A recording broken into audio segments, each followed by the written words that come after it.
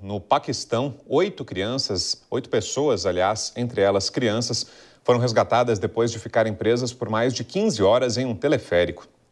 A cabine do veículo parou de funcionar por uma falha em um dos cabos na manhã desta terça-feira.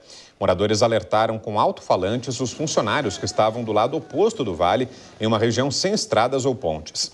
Operações de resgate tiveram início apenas 12 horas depois e se estenderam até a noite. Um soldado amarrado a um helicóptero entregou comida, água e medicamentos para as pessoas presas. As crianças usavam o teleférico para ir à escola. Esse tipo de transporte é comum no Paquistão para conectar aldeias isoladas em áreas montanhosas. Em 2017, 10 pessoas morreram em um acidente parecido próximo à capital do país. Enquanto isso, a gente vê o momento justamente da operação de resgate ocorrida no Paquistão.